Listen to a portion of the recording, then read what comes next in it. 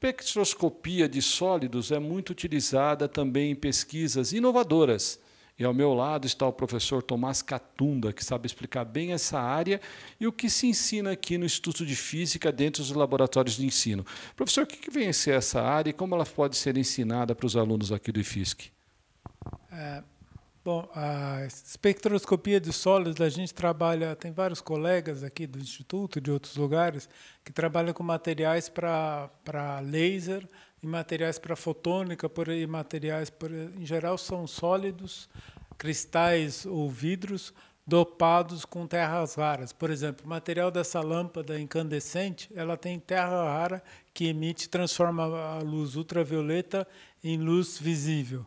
Também o material que se usa para transportar luz, né? dentro das fibras óticas também tem terra, terras raras para amplificar essa luz que tem existem amplificadores periódicos, por exemplo, quando um sinal de internet vai daqui até São Paulo. Nesse caso aqui, toda essa mesa ótica aqui, ela também tem uma aplicação, né? Quando o aluno entra aqui, ele começa a entender o quê? Qual a forma dos espelhos dessa mesa em si? Bom, é, esse aqui é um experimento básico, assim, fundamental da física, né? que a gente procurou, procurou uh, correlacionar uma parte mais fundamental com uma parte mais aplicada. Tá? Então, o interferômetro de Michelson ele foi criado pelo Michelson uh, para verificar a existência do éter. Ele queria mostrar que existia um éter e que a luz viajava nesse éter. Tá? E isso aí está relacionado, estritamente relacionado à relatividade restrita do Einstein. Tá? Na verdade, ele acabou mostrando que não existe esse éter, mas o experimento foi feito para mostrar isso. Ele queria ver se a velocidade da luz numa, uma, numa direção era igual na outra, tá? a luz que vem do Sol, e isso aí estaria relacionado à existência desse éter. Então, ele criou um interferômetro que está mostrado aqui na frente, tá? onde a gente vê a intensidade da luz, a gente é uma está relacionado ao caráter ondulatório da luz e se muda o caminho da luz, muda a, a fase e você passa a ter interferência construtiva ou destrutiva. Né? Então isso daí foi o experimento do Maxwell, foi um experimento fundamental da física aí na virada do século XIX para o século XX. E também uma outra coisa que a gente faz aqui, é, é, que é baseado nesse princípio, é a, é a interferometria, a técnica de uh, transformada de Fourier, que hoje é muito utilizada em interferômetros para medir absorção, para caracterizar principalmente materiais no infravermelho. Então é muito utilizado em química para analisar. Os químicos chamam de interferometria, quer dizer, a, espectroscopia de absorção, eles, eles chamam de é como se fosse a impressão digital de uma substância química. Eles conseguem identificar as ligações, etc., de uma substância química, do, se é C dupla O, se é CO, assim por diante. Todo o espectro infravermelho é muito importante uh, em qualquer área da química, química orgânica e inorgânica. Agora, à medida que o professor acaba ensinando a espectroscopia de sólidos, há muita coisa envolvida nisso. Né? As principais linhas de pesquisas nessa área que o professor orientou, que porventura está sendo desenvolvida no mundo? Ah, bom, o que a gente procura, a principal linha é, como eu falei, materiais dopados com íons terras raras, materiais uh, ou, ou metais de transição, materiais para laser. Né? Então a gente procura verificar ah, se esse material é bom. Por exemplo, se ele emite bastante, se ele é bastante eficiente na emissão de luz, né? E como que acontece, qual que é a concentração de dopante que você consegue otimizar, por exemplo, ação laser ou ação de luminescência. Existem vários processos, né? que ocorrem esses íons. Ah, existe a questão da esses, esses sólidos em geral são fracamente dopados. Se você aumenta muito a concentração desses íons, aí eles começam a ficar muito perto um do outro e, e, existe um ponto de eficiência máxima. Então é esse tipo de coisa que a gente procura investigar com técnica de espectroscopia convencional, de absorção, luminescência, ou técnicas mais sofisticadas, espectroscopia fototérmica espectroscopia não linear. Agora, quando as pessoas estão nos ouvindo falar tudo isso, elas devem estar imaginando onde tudo isso chega até a minha vida, até o meu dia a dia, o que isso significa enquanto inovação, enquanto melhoria da sociedade, do país, onde a ciência chega no ser humano de forma a solucionar problemas. Bom, então, como eu falei, é, a gente trabalha com espectroscopia de sólidos dopados com íons terras raras. Por exemplo, o herbio. Isso daí é utilizado em amplificador de fibra ótica.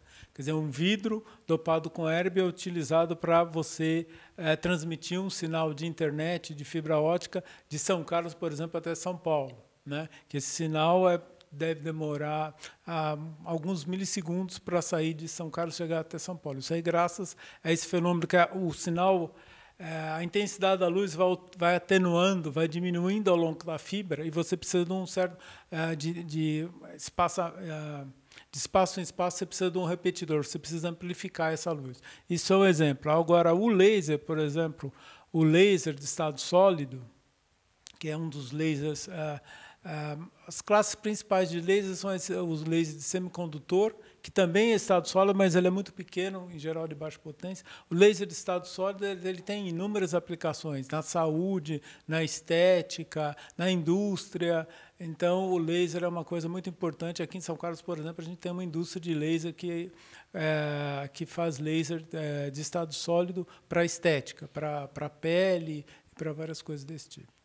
Então, agora, quando os alunos chegam aqui e aprendem tudo isso, eles devem estar se imaginando. Isso vai se agregar a outros princípios da física, né? porque a física é um universo muito grande. Agora, quando o professor sai dessa situação de ensinar no laboratório, de ensinar eh, especificamente para a espectroscopia de sólidos, o professor pode chegar aonde com tudo isso? O cientista ele tem um limite para se fazer ciência ou ele sempre está pensando na inovação? Ah, bom, o cientista, o que a gente procura aqui, eu acho que o principal de qualquer curso de graduação é ensinar a, o, a, o adolescente, o jovem, a pescar. Isso que é o mais importante, não é dar o peixe para ele, mas ensinar ele a pescar. Ou seja, ensinar a fazer pesquisa. Isso é uma coisa muito difícil, porque o aluno precisa desenvolver todo um aparato até psicológico, para ele enfrentar os problemas, enfrentar os desafios, mas ter a confiança de que ele tem ah, uma bagagem, ele tem um, que a gente diz, é, desculpe o termo em inglês, é um background, ele tem um, uma, um cabedal de conhecimentos que possibilita isso para ele. Quer dizer, se ele investigar, se ele pesquisar, ele fazendo pesquisa usando a metodologia científica, ele vai conseguir avançar. E a metodologia científica, ela foi é, a gente a gente físico gosta de falar que ela foi criada pelo Galileu, né? O método científico. Então é uma coisa muito antiga, mas é o que se usa hoje em todas as áreas da ciência e da tecnologia. É você é, investigar, fazer, analisar dados, propor modelos e ir melhorando passo a passo, tanto na ciência fundamental quanto na ciência aplicada. Agora, à medida que o professor passa isso, ensina o aluno, mostra o caminho, como o professor colocou entre aspas, ensina a pescar, lógico, o professor começa a, a mostrar uma possibilidade de crescimento, desenvolvimento, não só para a pessoa, enquanto indivíduo, enquanto estudante, mas também para um país que precisa de ciência, tecnologia e inovação. De que forma o professor entende isso nessa carreira tão árdua e tão intensa de se ensinar, de se, de se mostrar o caminho? Não só o país, mas o mundo todo precisa de ciência e tecnologia. E existe uma carência, que é importante para o jovem saber, que existe uma carência de cientistas, não só no Brasil, mas no mundo todo. Mais ainda no Brasil, porque o Brasil é um país ah, ainda em desenvolvimento que tem mais desafios para cumprir. Mas no mundo todo, a gente que viaja, que vai em congresso, a gente vê que estão, estão faltando cientistas para os laboratórios, ah, tanto de ciência mais básica, quanto ciência aplicada, quanto na indústria. Então, hoje em dia, existe uma carência de profissional e é muito fácil uma pessoa com uma boa formação encontrar colocação tanto na academia quanto na, na, na, na, indústria, tanto no Brasil quanto no exterior. Agora, à medida que o professor ensinou todo esse eh, esses fundamentos básicos da física. Ah, você pode escolher a área que você quer mais atuar. Né? Você pode pensar na física de diversas formas.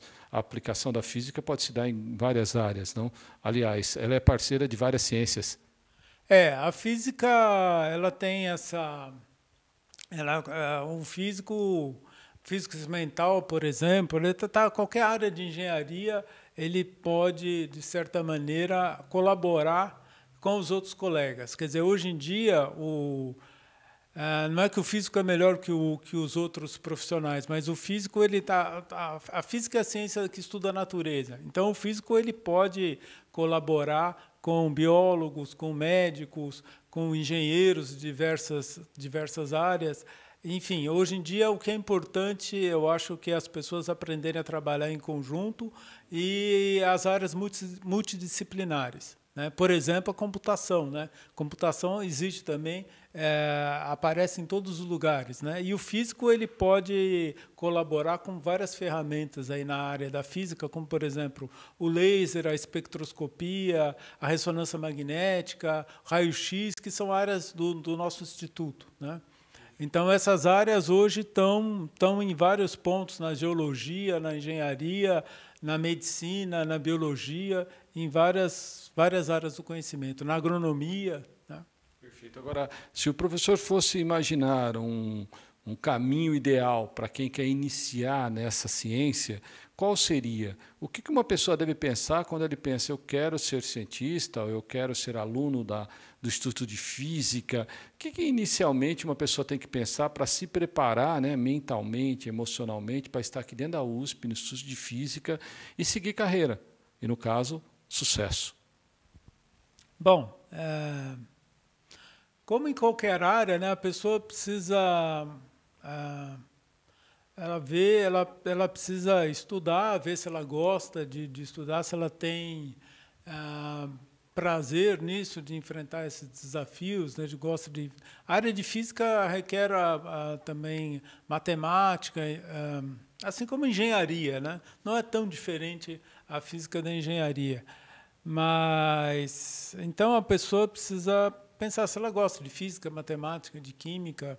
Eu acho que o conhecimento básico nessas áreas é essencial em qualquer, qualquer uma dessas modalidades. E depois, à medida que. Também não adianta ficar muito ansioso, né? Ah, eu quero fazer exatamente uma área tal da, da física de, de partículas, de, eu quero estudar teoria de cordas, eu quero estudar isso. O importante é você começar. Depois, quando você vai, você uma pessoa que, que gosta de física está interessado por tudo. A física é a ciência da natureza.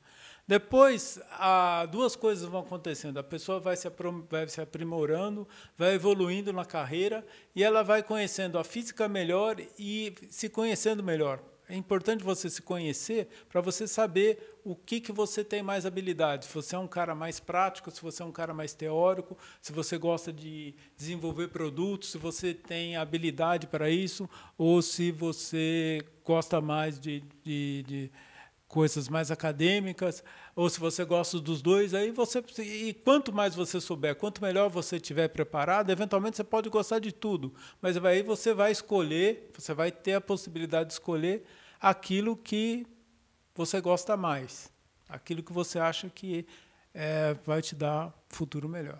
Agora, uh, para um país, como o professor disse, em desenvolvimento, ciência, tecnologia e inovação é essencial, né? De que forma isso acontece num país que precisa desta área, que necessita de desenvolvimento, inovação? Como que, um professor que tem tanta experiência entende tudo isso?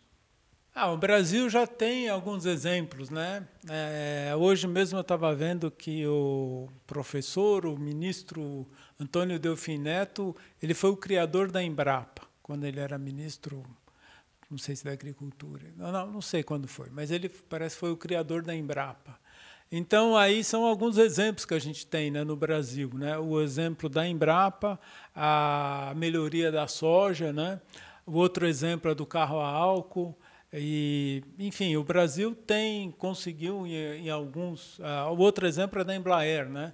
Da indústria aeronáutica. Esses aí são os três exemplos é, clássicos aí que o pessoal da área de ciência e tecnologia costuma citar. São casos em que houve investimento estatal em pesquisa, isso aí teve um grande, uh, um grande resultado para a sociedade.